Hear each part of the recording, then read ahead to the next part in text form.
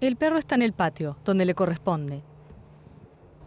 Pero cuando un enorme tsunami azotó la ciudad de Sendai, su dueño nunca imaginó que vería de nuevo a Shane. Sin tiempo para salvar a su mascota, Kamaki huyó al refugio más cercano. Pero seis horas después de que la ola golpeara, después de nadar a través del agua, apareció fuera del centro de rescate. Los dos están a salvo, aunque Jane se lesionó durante esta terrible experiencia. El estudiante de medicina Kazuma se ofreció como voluntario para tratar sus heridas. Desde el tsunami ha estado viajando por la costa ayudando a las mascotas lesionadas de personas que perdieron sus hogares.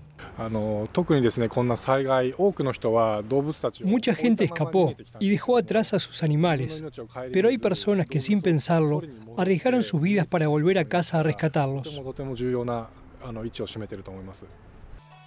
Para algunos dueños, sus mascotas son lo poco que les queda.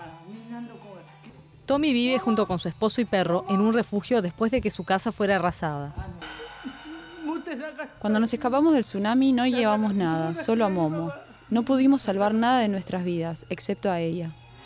Pero muchos centros de rescate no aceptan mascotas y los animales tienen que quedarse afuera. Con pocos cuidadores de animales disponibles, Isabela dedica mucho tiempo a intentar encontrar un hogar temporal para estas mascotas.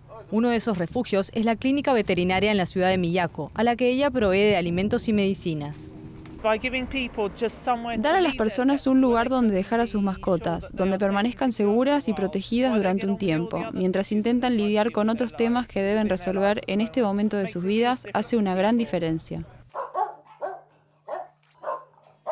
Algunos de estos animales se quedaron sin dueños, pero algún día la mayoría tendrá la misma suerte que Jane y encontrará un hogar.